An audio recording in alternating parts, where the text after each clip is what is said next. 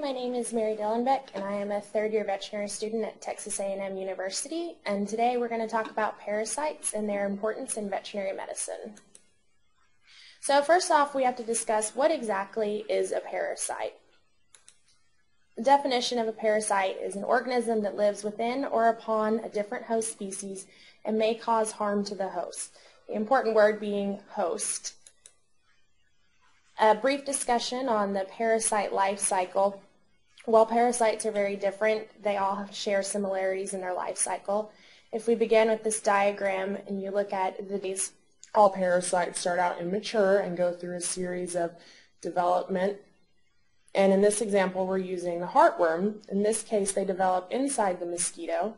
After development, they have to begin with contact with the host and then gaining a suitable niche. Now, heartworms are kind of unique because being inside the mosquito, the mosquito actually transmits the heartworm to the dog through biting, and then once inside the dog, they travel through the bloodstream into the heart, where they begin the survival phase and develop and mature. Once they are mature inside the heart, they begin reproduction. And all parasites have some sort of reproductive product, whether it be a larvae, an egg, but once they have the reproductive product, it now has to be able to leave the host to infect new hosts. So you have to escape. In the case of the heartworm, this is done by the larvae traveling through the blood, and then when a mosquito bites and ingests blood, the life cycle begins all over again. Okay, so the easiest way to talk about parasites is to divide them into ectoparasites and endoparasites. Ectoparasites are those which live outside on the skin of the host, and these usually are either insects or arachnids, meaning ticks, mites, or spiders. And then endoparasites are parasites found within the body of the host. They can be in blood, in tissue, or in the gastrointestinal tract. These tend to be your nematodes, which are roundworms, trematodes, which are flukes, cestodes, which tend to be your flatworms, and protozoa, which are single-celled organisms. So who gets parasites? All animals get parasites, including birds, sheep, goats, even people get parasites. And it's a very important part that we have to deal with in veterinary medicine is control of these parasites since they infect so many of the animal species that we deal with. Going to begin by talking about ruminant parasites. While they have many different parasites, there are three main ones that we have to deal with. Those are the biting flies, liver flukes, and also intestinal parasites known as the barber's pole worm or Haemonchus. Biting flies are a real problem because of the irritation they cause the animals and damage they can cause to the skin. Liver flukes, just like the name says, live inside the liver and migrate through the liver, and this migration causes a lot of tissue damage and can actually be very difficult on the animal. And finally, the barber's pole worm, or Haemonchus, is a nematode that is found in sheep and goats and is particularly important here in Texas and is found in almost all small ruminants if you were to look for them. The next species we're going to talk about are horses. They're kind of unique because they have over 70 different species of parasites that can live in them or on them. One of the major ones we deal with is what's called a horse bot. These are actually fly larvae that live inside the stomach of the horse. That's where they develop. They can cause a lot of problems with colic, but are easily managed if you treat for them. The next one that we deal a lot with here in Texas is EPM, or equine protozoal myelitis. Now this particular parasite actually lives in the nervous system of the horse and migrates through nerves in the brain, so it can cause a lot of serious damage, including death in these animals. And the final parasite we worry about in horses is bloodworms or strongylus. They're another nematode that live in the intestinal tract, but they can also cause problems and blockages in horses leading to colic. The next group we're going to talk about are dogs and cats. Now this might be the one that you're most familiar with because we all have pet dogs and cats. One of the most common ones we deal with are fleas. And these are little tiny jumping insects that live on the skin of both dogs and cats. And they're a real problem because of resistance that they develop and they can infest your animal, your home, the carpet, and are very difficult to get rid of. They also transmit tapeworms, which is the second parasite we're going to talk about. These are flatworms that live in the large intestine of both dogs and cats, and they can be very annoying to owners when they find them. The next parasite that's common with dogs and cats is mange. Now this parasite's kind of neat because it's found either on or just below the surface of the skin, and if you look at the picture of the dog, that dog is obviously very uncomfortable and has hair loss from the mange. This parasite is also one that can be transmitted to humans and can cause itchy skin, so it's very important to try and control and prevent animals from getting it. Then the final parasite is heartworms.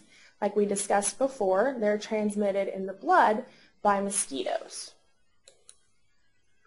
So now that we've had an overview of some common parasites in animals, how do we find these parasites? There's a few different ways that we can go looking for them. The first one is direct observation. When you have parasites like fleas or flies that live on the skin, it's very obvious. You see them and you know they're there. But sometimes it's a little more difficult.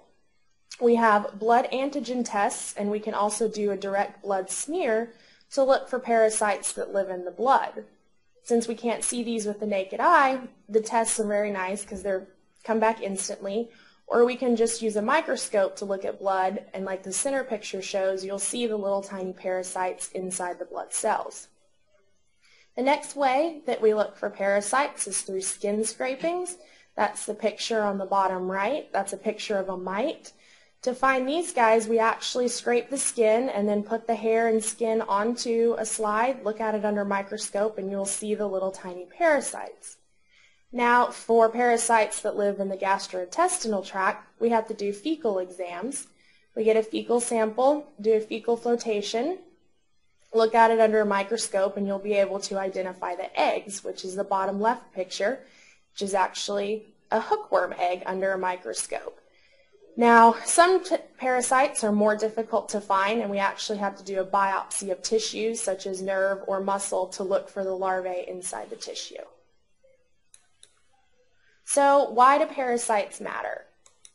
First off, they cause a lot of production loss, especially in large animal species. They can cause disease and death in animals. And the final reason is zoonotic potential, which means they can be transmitted to humans. So first off is production loss. Now, like I said before, this is very important in large animals. Number one, because they cause annoyance to these animals. When flies are flying around and biting, animals don't want to eat, and if they don't eat, they aren't gaining weight. They can also cause serious problems with blood loss. Mosquitoes and biting flies can actually suck enough blood from a cow to cause anemia and even death in young animals. Um, intestinal parasites decrease the absorption of nutrients from the stomach and so this can also cause animals to have poor growth and weight gain, which is a problem. And the final way that parasites can be bad for production loss is through damage to the hide or hair of the animal. When you're raising cattle, part of the money comes from the hide, and if you have a picture like on the top and cattle grubs that are crawling through the hide, this damages the hide and you lose value on the animal. Or if you have a wool producing animal like sheep, it can actually cause their wool to fall out, fall out so that you're not making money off of them that way. The next way that they can cause problems is through disease, and one of these, the major ways, is through blood-related disease and death. As I discussed before, biting flies can kill an adult cow through blood loss, and then parasites such as heartworms can actually cause heart failure and death in dogs. You'll see from the picture that heart is full of worms and can no longer pump blood. Other parasites can cause disease and death through the nervous system. The picture on the top right is a worm that actually encysts inside the brain. And depending on which part of the brain is infected, it can cause death through blocking the respiratory centers or the vascular centers in the brain, which control breathing and the heart. And then another very common parasite that people are familiar with is malaria. It is transmitted by mosquitoes, and it is responsible for more than 1 million deaths per year and is the number one killer of people in the world. Now, one thing we really worry about as veterinarians is zoonotic potential. Many animal parasites can also infect humans, and this is something we have to worry about with our clients. This slide shows the life cycle of the hookworm. It's very commonly found in dogs and cats. They're infected. It lives in their stomach and gastrointestinal tract. They then pass the eggs in their feces, which get into the soil, and the larvae develop in the soil. The problem is these larvae that live in the soil like to infect humans by crawling through your skin. So when you walk around barefoot, or you're playing in a sandbox that has these little larvae in it, these worms can actually penetrate your skin and they can cause problems like you see in the picture of the foot, which is a tract where the worm has migrated through the skin.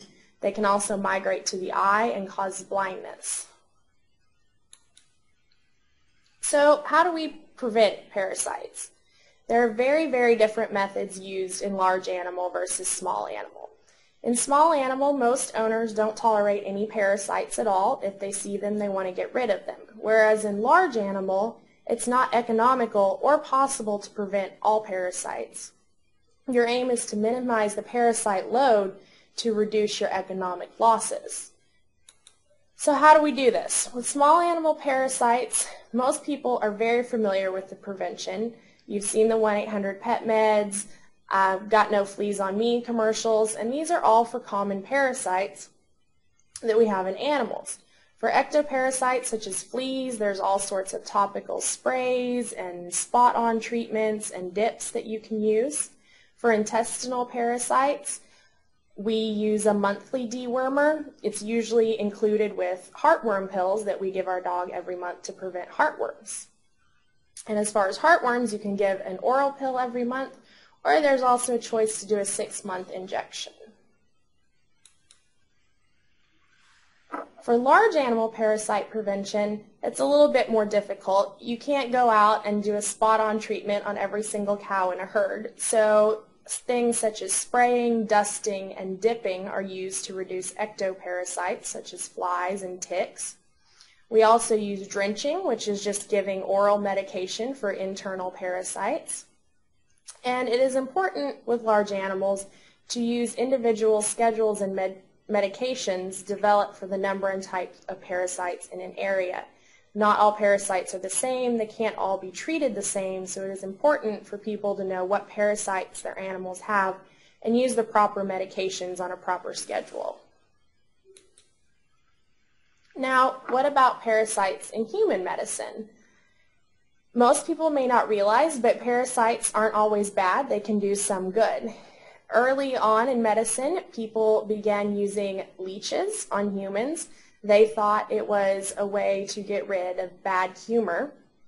And it became it came out of favor when we realized that bleeding people was not ideal, but it is being used again now to improve blood flow in surgery sites such as skin grafts and reattachments. The saliva actually produces an anticoagulant and the suction helps reduce edema in these areas so that the tissue can grow and heal. Another way that we're using parasites in medicine right now are with maggots. Now most people think maggots are gross and bad, but there are certain kinds of maggots that feed on dead necrotic tissue. So we have been using them to put into wounds, both in humans and in animals, and they can go in and microscopically clean out all of the dead tissue, leaving all of the healthy tissue behind so that it can heal faster. More parasite research is also currently going on with drugs and parasites.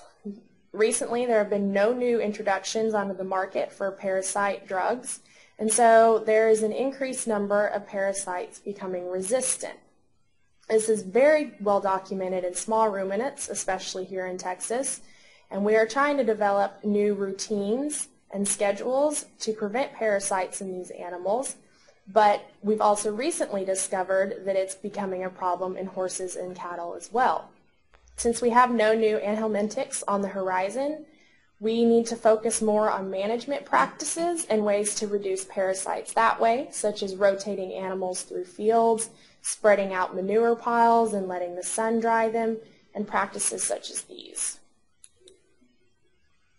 Now, you may be wondering, why can't we just develop a vaccine for parasites? It seems we have vaccines for everything else. The problem is parasite anatomy is actually very similar to mammal or animal anatomy. And so we've had a lot of difficulty developing vaccines that will attack a parasite but not harm the host. They're currently working on a vaccine for malaria, but it is still in development. That brings us back to malaria, which, like I said before, is the number one killer of people in the world. We are working on novel methods to control this parasite. The latest research to control malaria involves actually killing the mosquito, since that's how people get it.